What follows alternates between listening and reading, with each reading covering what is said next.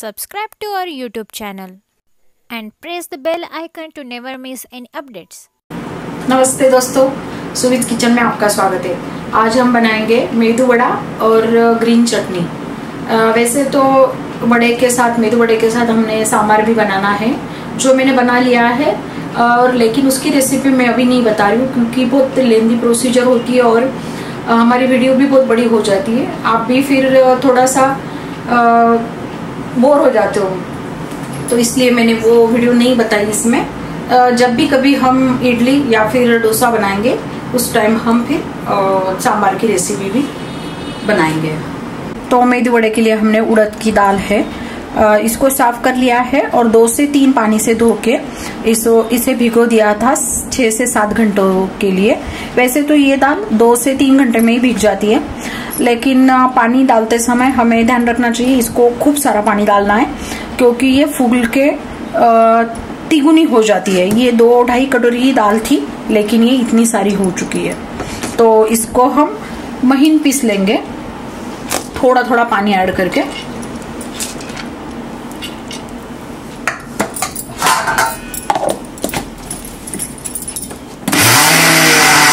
इतना soft batter हमने इसका बना लिया है पीस के। और ये जो कटोरे में मैंने पानी लिया था ये एक कटोरा मतलब कि ये आधा कटोरा बचा है मैंने वापस पानी इसमें डाला था। एक कटोरे के करीब पानी इसमें आ, डालने के लिए पिसते हुए लगा था। तो अभी हम ये जो इसमें मसाले डालने हैं हमें तो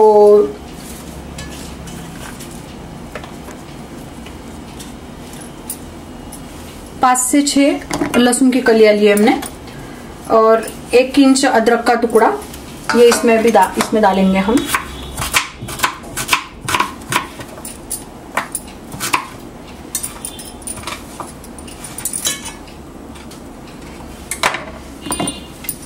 और जीरा डालेंगे। एक टी डेढ़ टी स्पून के बराबर इसको पीस लेंगे हम।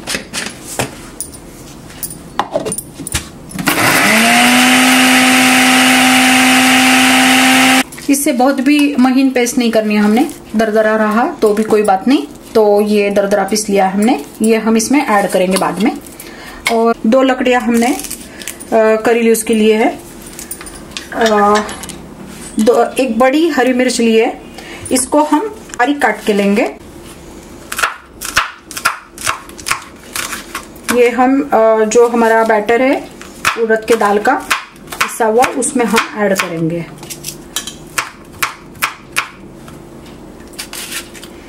ये बहुत तीखी नहीं है मिर्ची। तो बच्चों को कोई इतना प्रॉब्लम नहीं हो सकता है इसलिए मैंने तीखी मिर्ची नहीं ली है। और करी लूज भी हम, बारीक काट लेंगे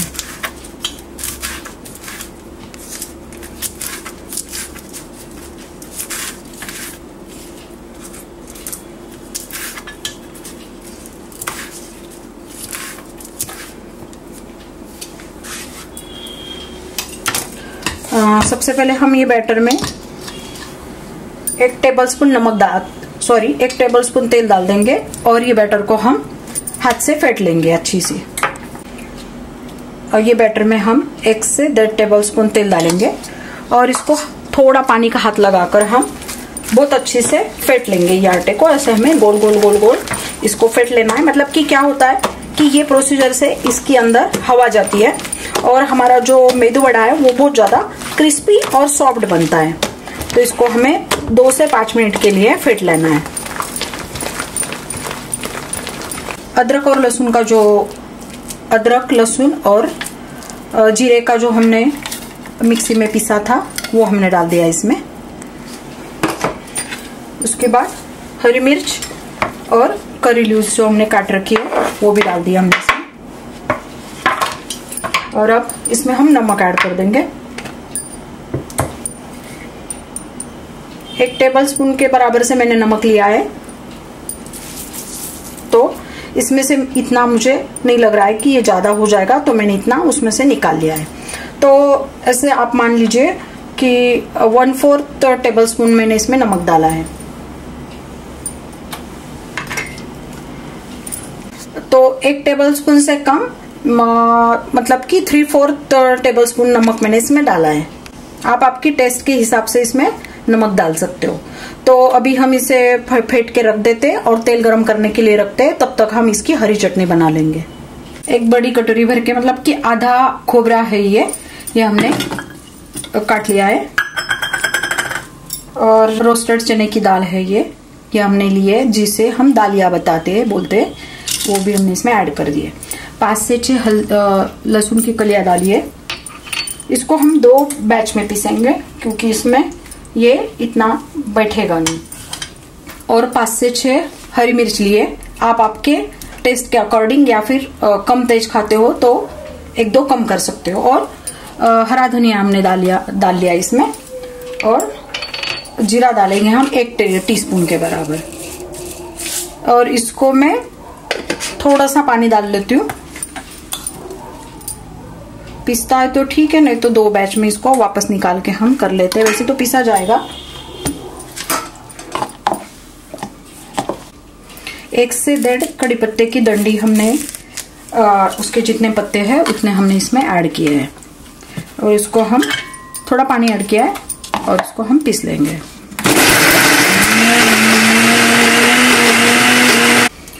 नींबू का रस डाल देंगे हम आधा टेबल स्पून के बराबर। और बस स्वाद के लिए हमें इसमें थोड़ी सी शक्कर डालनी है। तो आधे टेबल स्पून से भी बहुत कम वन फोर्थ टेबल स्पून हमने इसमें शक्कर डाली है। अब इसको हम पीस लेते हैं। इसमें आधी कटोरी के बराबर मैंने पानी डाला था और इसको पीस लिया था। आ, हमारी चटनी बन चुकी है। बस इसमें हमें अभी बस नमक ऐड करना बाकी है और इसको हम अब छोका लगा देंगे। चटनी में हमने थोड़ा पानी ऐड कर दिया है। इतनी कंसिस्टेंसी का हमने चटनी बना ली है। आधी टेबल स्पून के बराबर से हमने इसमें नमक ऐड किया है। इसको हम मिक्स कर लेते हैं। अब हम इसका छोका बना लेते हैं। दो टेबल स्पून तेल गरम करने के लिए रख दिया था। इसमें एक टीस्पून डेढ़ टीस्पून हमने राई डाली है। राई क्रैकल होने के बाद हम वन फोर्थ टी स्पून हमने हींग डाला है इसमें। और करी यूज़ के पत्ते डाले और गैस बंद कर देंगे अब हम। और ये हम चटनी पे डाल देंगे। तो अभी हमारी हरी चटनी तैयार हो चुकी है। बहुत अच्छी टेस्टी लगती है और कलर भी बहुत अच्छा लगता है इसका। आप देख सकते हो। तो अब हम, तेल भी हमारा गर्म हो चुका है। तो अब हम दही जो मेदू बड़े हैं, वो हम बना लेंगे। तो हमने ये बड़े का आटा, मेदू वड़े का आटा फेंट कर रख दिया था। इसके अब हम मेदू वड़े बनाएँगे। तो आप दो टाइप से ये वड़े बना सकते हो। या तो चम्मच से तो या हाथ से। हाथ को हमेशा पानी लगा लेना है और इतना बैटर हम हाथ पे डालेंगे और इसको बराबर सब तरफ़ से शेप करेंगे गोल और बीच में से छेद करेंगे। और धीरे से हम इसको, ये देखिए, और दूसरा एक टाइप है, ये ऐसा आप चम्मच ले सकते हो। चम्मच में आप ये बैटर बराबर से ऐसा डालो। और इसको बराबर से शेप बना के इसके बीच में आप छेद बना लो और इसको ये देखिए, बहुत सिंपल है ये। या आप साइज़ का मेदू वड़ा चाहिए आपको, वो साइज़ का आप चम्मच ले सकते हो। मैंने इस साइज़ से पहले डाला है। अब हम दो तीन बड़े ये ऐसे साइज़ अलग अलग साइज़ के डालेंगे तो चम्मच हमें पहले ऐसा पानी में से डुबो लेना है। मतलब कि इसको हमारा जो बैटर है, वो चिपकेगा नहीं। और इसमें बस डाल देना है। बहुत सिंपल है। मतलब कि जो बिगनर है, बच्चियाँ होती है, उनको दिक्कत होती है तो वो भी आराम से बना सकते हैं। और ऐसा हमें एक गोल बना लेना है। और धीरे से हमें इसमें छोड़ देना है। बहुत आसानी से ये बन जाते हैं। एक साइड हो चुके हैं, इसको हम पलट देते हैं फिर ऐसे ही बारी बारी से हम ये मेदू बड़े बना लेंगे। मीडियम गैस रखा है हमने। पहले हमने मीडियम फ्लेम पे इनको रखे थे, बाद में फ्लेम बढ़ा दिया था।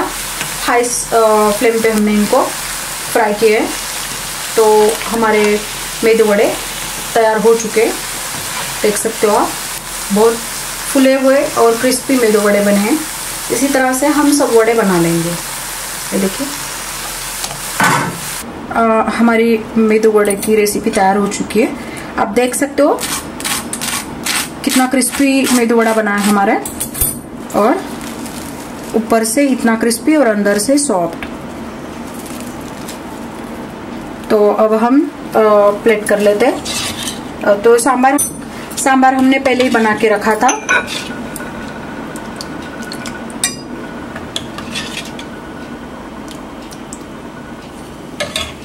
और चटनी मैंने आपके सामने ही बनाई है।